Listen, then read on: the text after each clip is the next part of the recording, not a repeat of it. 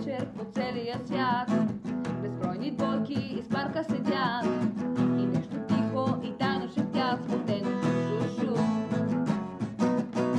Седиме двама в нощния час, зелени конки се спускат над нас и всички листи си шепнат на глас. Нежно шушу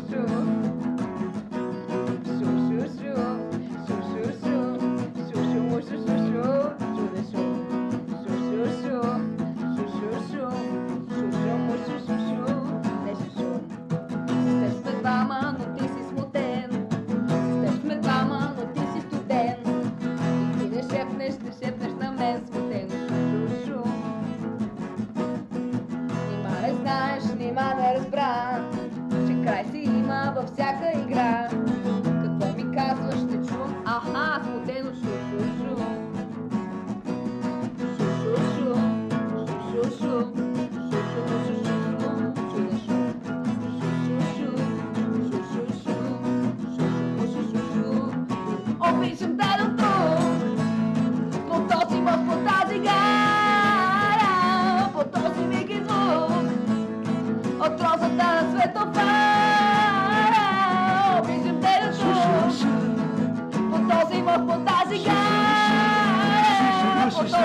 谢谢